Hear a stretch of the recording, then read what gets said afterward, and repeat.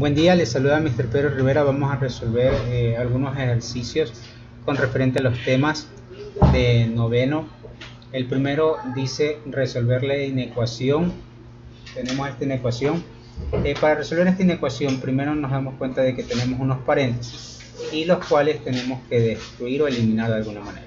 La manera más, la manera que se debe eliminar es este menos 6 va a multiplicar a lo que está dentro. Entonces procedamos a hacer. Vamos a tener 3x menos 10. Aquí recordamos una ley de signos que me dice que menos por más me queda menos 6x al cuadrado y voy a tener menos por menos me queda más 6 por 1 6 mayor a 12 más x menos 6x al cuadrado listo Seguimos. De ahí, ¿qué debemos de hacer? Comenzar a agrupar los términos que tengan x de un solo lado de la inecuación, que serían estos. Entonces, hacemos eso, me va a quedar 3x menos 6x al cuadrado. Aquí debemos de recordar, bueno, el principio es otro, pero para que usted lo pueda hacer mucho más sencillo, recuerde de que cuando un término cruza al otro lado de la inecuación, este aquí va a cambiar de signo. Si está con más, me va a quedar con menos x. Y de igual manera, si aquí tengo menos 6x al cuadrado, al cruzar me va a quedar con más 6x al cuadrado. Copiamos, me va a quedar menos x eh, más 6x al cuadrado mayor.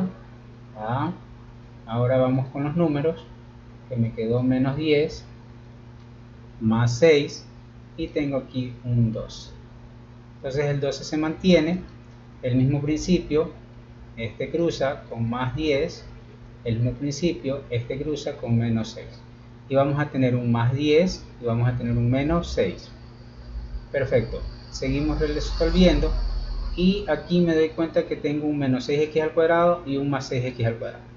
Simplificamos y me está quedando solamente 3x y menos x 3x menos x me queda 2x mayor. Resolvemos esta operación me va a quedar aquí 12 más 10 y menos 6 resultado me va a quedar aquí 16 correcto de ahí me va a quedar x. Este 2 que está multiplicando cruza a dividir me va a quedar 16 dividido para 2, x es mayor que 8. Aquí no termina el ejercicio porque lo tenemos que ubicar dentro de la recta numérica. Recordemos que va desde menos infinito hasta más infinito. Ubicamos el 8 y me dice que van a ser los valores mayores a 8. Y listo. Y esta es mi respuesta. Eh, recordar dos cosas importantes para este tipo de ejercicios, por favor, cuando lo vayan a resolver. El primer ejercicio, la primera cosa importante es de que si yo tengo x mayor o igual a 2 o x menor o igual a 2, para la representación en la recta numérica, en la recta numérica yo tengo que utilizar corchete.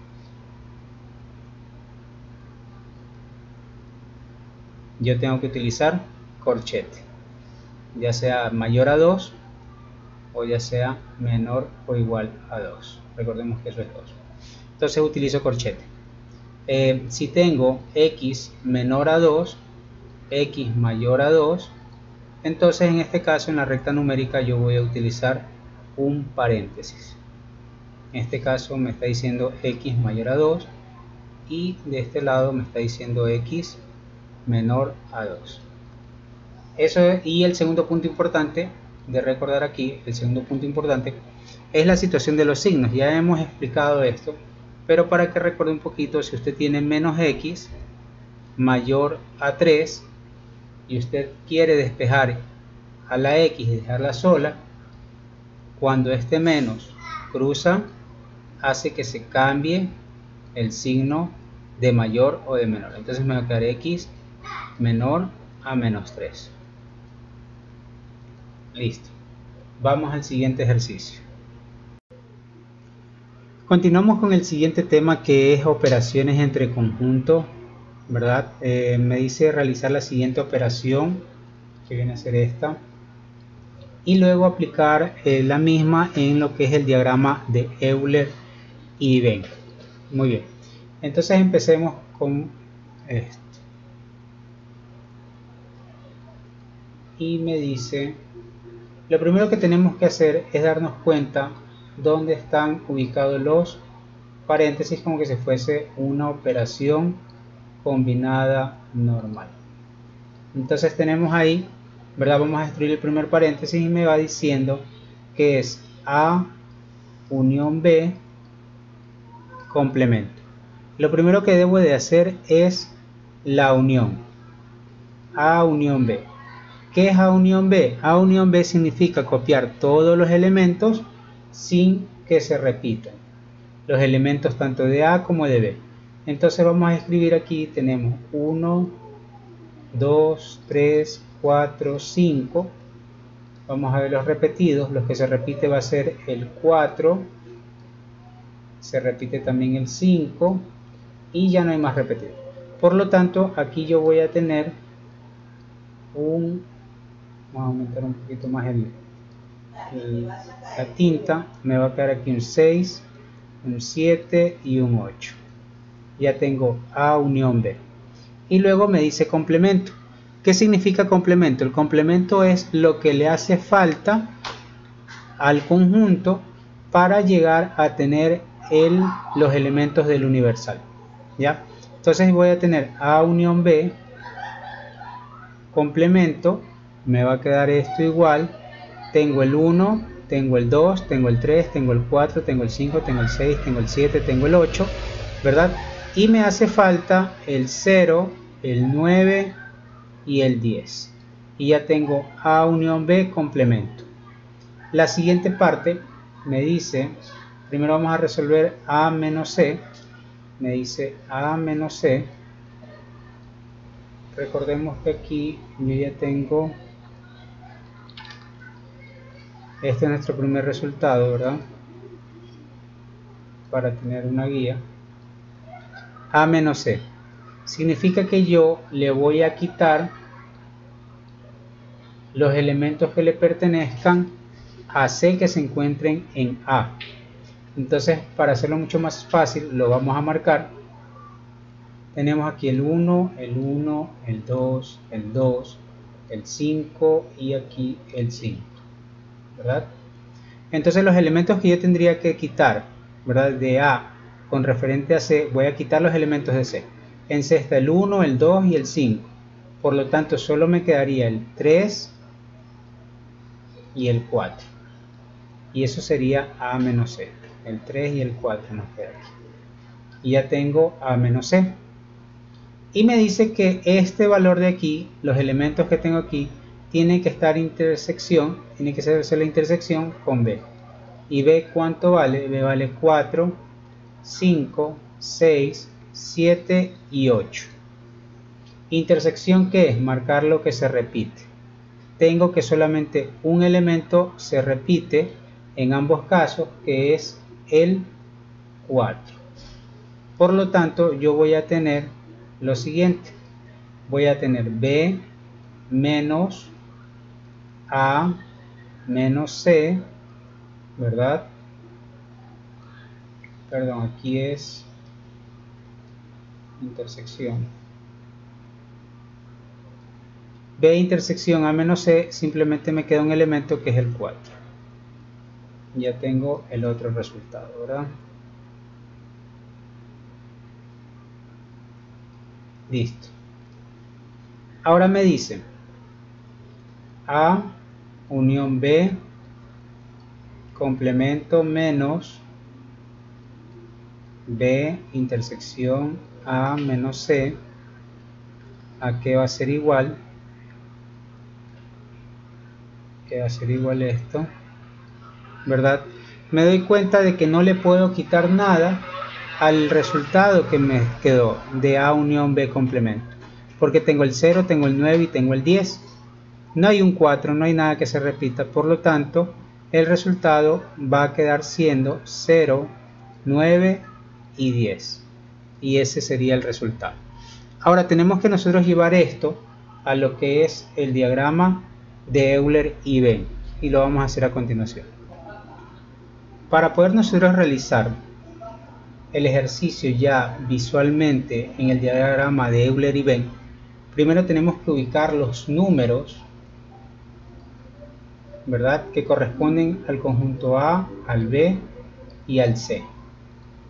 Por lo tanto, veamos. Antes de esto, yo me tengo que dar cuenta de cuál es el común entre los tres.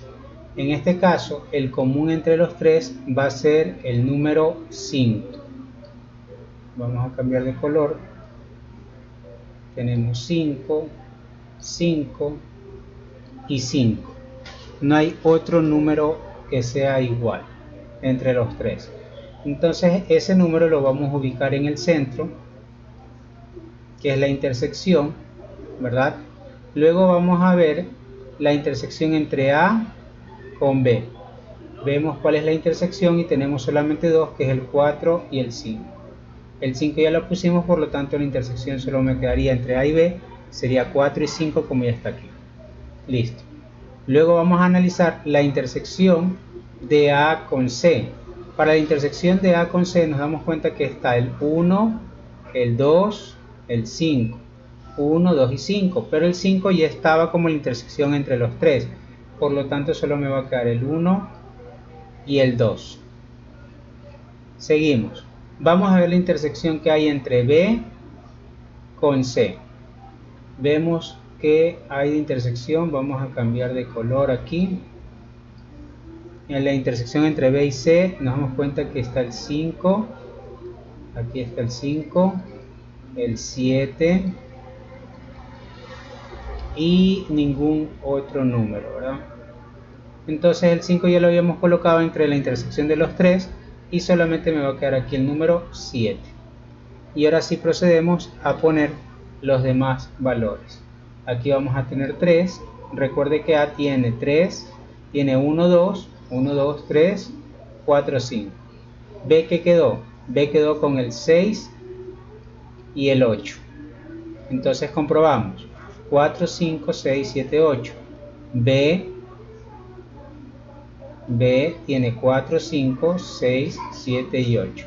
Y ahora vamos a comprobar el valor de C, los valores de C, que me tiene que quedar el 1, el 2, el 5, el 7, que ya lo pusimos y me quedaría aquí el 9 y el 10. Comprobemos, todo esto va a ser C, y tenemos el 1, el 2, el 5, el 7, el 9 y el 10. Corremos aquí esta como que está de más. Perfecto. Y esos son los elementos. Y me falta colocar lo del universal. Recordemos que el universal es todo y qué elementos son los que no están aquí. Va a ser el 0. Vamos a cambiar de color. Vamos a color. El 0, me falta el 0, solo el 0. 0, 1, 2, 3, 4, 5, 6, 7, 8, 9 y 10, perfecto, solo falta el 0. Y lo que hacemos es proceder a pintar, vamos a pintar. Me dice que la respuesta final quedó el 0, el 9 y el 10. Busquemos donde está el 0, el 9 y el 10. Por lo tanto el 0, vamos a cambiar aquí de color. El 0 es todo lo que está afuera. Todo esto vale 0. Corresponde al 0 y también tengo que pintar el 9 y el 10 el 9 y el 10 entonces esta de aquí verdad es mi solución. Si lo representamos en el diagrama de Euler y B gracias por la atención. Muy bien, eh, siguiente tema, vamos a ver lo que es el producto cartesiano. Este tema es bastante sencillo. Me dice primero sea el conjunto A igual a 3, 4, B igual a 1, 3, 8, C igual a 3, 8, 9, me, me piden A por B. Entonces yo voy a encontrar A por B. Y esto es bastante sencillo. Aquí lo único que hago es juntar lo que son los pares, vamos a formar pares ordenados. Y el 3 tiene que ir con el 1, el 3 tiene que ir con el 3, el 3 tiene que ir con el 8. Entonces me queda 3,1, 3,3, 3,8, ¿verdad? Y de ahí lo mismo vamos a hacer con, bueno aquí separado con coma, y lo mismo vamos a hacer con el 4, 4,1, 4,3 y 4,8. 4,1, 4,3, 4,8. Y ya tenemos el resultado de A por B. De ahí me dice que tengo que hacer la multiplicación de B por C. Tengo B por C. Y lo mismo, ¿verdad? Me va a quedar 1 con 3, 1 con 8, 1 con 9. Luego me va a quedar 3 con 3, 3 con 8, 3 con 9 y al final me va a quedar un 8 con 3 8 con 8 y un 8 con 9 listo continuamos y ya vamos a tener nosotros un eh, me dice A por B intersección B por C lo único que tenemos que hacer como me dice intersección es buscar los que sean idénticos. Aquí tenemos 3, 3 con este 3,3 y busquemos aquí. Aquí hay que tener un poquito de eh, ser un poquito observadores nada más y aquí me va a quedar 3, 8 y 3, 8. Entonces resultado 3,3 en par ordenado 3,8 y esa es mi respuesta. Y ese ha sido un tema de producto cartesiano. Muy bien, vamos con el último tema de, de lo que se está hablando de los temarios, ¿verdad? Entonces, primero me dice tabla de verdad. El último temario me dice tabla de verdad. Yo tengo P, entonces Q, y la negación de P o negación de Q tengo eso de ahí. ¿Ya? Primero, vamos a hacer un poquito más grande. Primero tengo que recordar lo que son las tablas de verdad de los diferentes operadores lógicos. El operador conjunción, el de la disyunción, el del el condicional, ¿verdad? Y el de la negación. Esos son los principales que se van a, evaluar. ¿Ya? Entonces tenemos que primero ver cuántas variables vamos a tener, cuántas proposiciones lógicas vamos a tener. En este caso sería P y sería Q. Simplemente tenemos P y Q. PQ, armamos nuestra tabla de verdad. La vamos a armar con unos y ceros, la puedo armar con verdadero y falso. Vamos a tener 1, 1, 0, 0, 1, 0, 1, 0. Listo. Siguiente, copiamos con algo de distancia y la negación de P o negación de Q. Siempre recomiendo poner primero lo que son las negaciones, como en este caso, la negación de Q que tenemos aquí. La negación recuerde que es lo contrario, si tengo 1, aquí me va a quedar 0, me va a quedar 1, aquí me va a quedar un 0 y aquí me va a quedar 1, ¿verdad? lo único que hicimos es esto de aquí, esta parte ok luego eh, vamos a poner el valor de p. P vale 1 1 vamos a copiarlo con negro para identificar cuáles van saliendo como resultado. 1 1 0 0 el valor de p es 1 1 0 0 q vale 1 0 1 0 muy bien. Y comenzamos. Recordar que este de aquí es un operador O y el operador O lo podemos identificar como una especie de suma ¿ya? Eh, cada vez que usted vea un 1 el resultado siempre me va a quedar un 1 entonces vamos a tener en la primera parte 1 vamos a tener 1 vamos a tener un 0 y vamos a tener un 1 ¿verdad? Eh, la tabla del operador O si yo tengo P o Q 1100 1010 recuerde que esta tabla de aquí me queda de la siguiente manera. Cada vez que vea un 1 es un 1 1 veo un 1 1 1 y solo voy a tener un 0 ok y ya tendríamos la primera parte. Ahora este resultado este resultado que me dio me dice que lo tengo que negar. Significa que voy a escribir lo contrario. Voy a tener aquí 0 0 1 y 0 y ya tenemos la primera parte del ejercicio. Vamos ahora con la parte del condicional que me dice P entonces Q voy a tener 1 1 0 0 1 0 1 0 para este aquí simplemente buscamos el 10 buscamos el 10 y cuando veamos un 10 ese resultado me va a quedar 0 está aquí y aquí voy a tener un 1 0 y el resto es 1 y esa es mi tabla de verdad.